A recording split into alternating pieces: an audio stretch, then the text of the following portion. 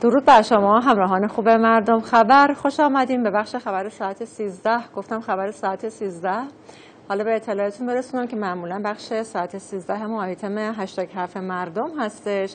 اما خب این چند روزه به خاطر قطعی اینترنت نتونستن تصاویرشون رو برای ما ارسال بکنن که حالا انشاءالله طی چند روز آینده باز هم مجددا برمیگردیم به آیتم هشتگ حرف مردم در ساعت 13 اما از اینترنت گفتم از قطعی اینترنت گفتم خبر این ساعت رو با همین شروع می‌کنم که به گفته مدیرعامل مخابرات ایران در پی قطعی اینترنت توی روزهای اخیر ده روز به مدت اعتبار قرارداد کلیه مشترکین اضافه میشه.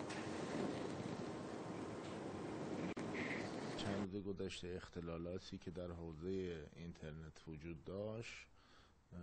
بالاخره مشترکین ما در این رابطه متضرر شدن. ما برای اینکه بخشی از این ضرر این دوستان و این مشترکین عزیز رو جبران کنیم چند تا کار انجام دادیم. یکی اینکه خب بحث مانده افیوپی این مشترکین عزیز بود که هر ماه این هرچی شما استفاده نکنی صفر میشه. ما به خاطر اینکه این مشترکین عزیز و متضرر نشن این مانده افیوپی این دوستان رو به ماه جاری انتقال دادیم. یعنی می‌تونن توی این ماه هم استفاده کنن هرچی از اون به اصطلاح چند روز مونده باشه. و یکی هم توی بحث به اصطلاح ده روزم به کلیه مشترکینمون اضافه کردیم که مدت اعتبارشون بتونن استفاده کنن. یعنی ده روز به مدت اعتبار قرارداد کلی مشترکینمون اضافه کردیم. و امیدواریم که از کیفیت و سرویس ما مردم عزیزمون راضی باشه. خبر خوب واسه دانشگاهیان که اینترنت دانشگاه ها وصل شده. اینو مدیر روابط عمومی وزارت علوم تحقیقات فناوری گفته که وزیر علوم تحقیقات پیگیری کرده برای اینکه اینترنت دانشگاه ها وصل بشه.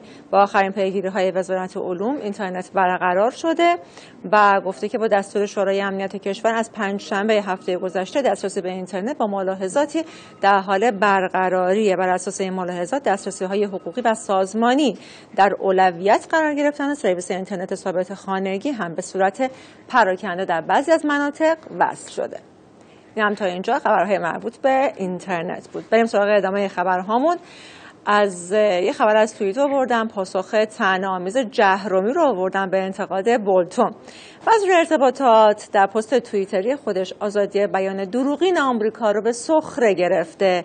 به تازگی جان بولتون مشاور امنیت سابق آمریکا در پیامی درباره اقدام کاخ سفید مبنی بر بستن حساب توییترش انتقاد کرده بود. بولتون تو این پیامش هم نوشته بودش که در یک افشاگری کامل باید بگم کاخ سفید هرگز دسترسی من به حساب توییترم رو باز نگردونده. از توییتر به خاطر رعایت استانداردهای خود و بازگرداندن درست کنترل حسابم به من تشکر می‌کنم. خب دلیل این اقدام رو هم دلیل این اقدام کاخ سفید رو هم بستن دهان اون عنوان کرده. از طرفی وزارت وزیر ارتباطاتمون به دنبال این پیام توییتری بولتون خطاب به مشاور امنیت سابق آمریکا توییت زده. گفته که آزادی بیان دروغین. بولتون معتمدترین مشاور بول... ترامپ بوده. و این رو هم در توییتر خودش عنوان کرده. و اما آمبولانس ها آقازاده ها و مسئولین آمبولانس های آقازاده ها و مسئولین با آمبولانس های عموم مردم فرق داره به نظر شما؟ این گزارش رو ببینیم. آمبولانس آقازاده ها و پولدارا و سیاستمدارا و وزرا با آمبولانس ماها طبعا فرق می‌کنه دیگه. نه خیلی قربان آمبولانس همین یعنی وزیر به شما زنگ بزنه بگه مادرم مریضه ببین هر کی زنگ بزنه. ببین هر کی زنگ بزنه نزدیکترین آمبولانس برش اعزام میشه. و هیچ فرقی برای ما نمی‌کنه. ما آمبولانس VIP نداریم. واقعا نداریم. واقعا نداریم.